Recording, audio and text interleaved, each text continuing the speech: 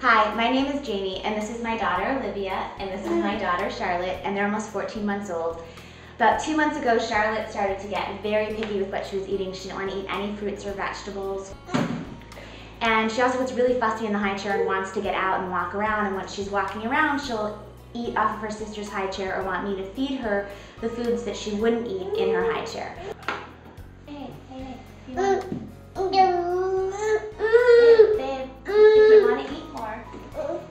Go into your high chair.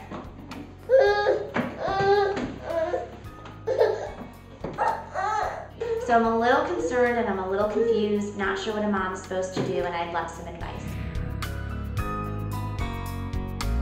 You know, one of the hardest things about parenting multiples is when the kids reach different developmental milestones at the same time.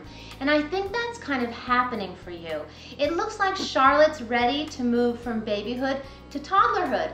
And you see, she doesn't have the words to tell you that. So she's squirming and she's moving and she wants to walk around. I am wondering if she's ready to graduate to the big girl table. Do you think you'd like to pull up the high chairs, take off the trays, and let the girls sit at the kitchen table? You know, then Charlotte's gonna have some buy-in because she's gonna feel like she's a big girl. The other thing we really saw is that she enjoys eating finger foods, and that is really common as well when children go from babyhood to toddlerhood. So serving those finger foods and letting her dip in things is a great idea. So she can dip things in applesauce. She can dip things in ranch dip. And that's gonna increase the amount of food that she consumes.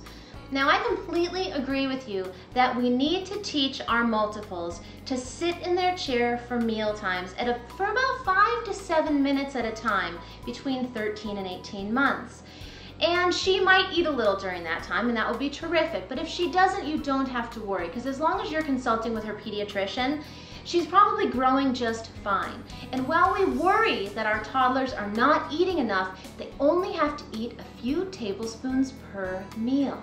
The other thing is while we want our toddlers to learn how to eat at the table, sometimes children are grazers and it strikes me that Charlotte might like to eat that way.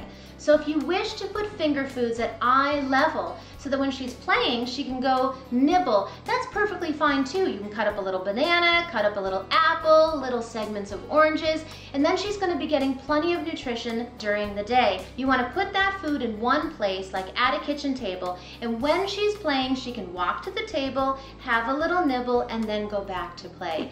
You're doing a fabulous job. It was really wonderful to watch the tape. It was just a joy. You were so patient and calm. And that's exactly what your babies need as they move into toddlerhood. Do you have a question for our experts? Contact questions at parentsask.com because raising kids raises questions.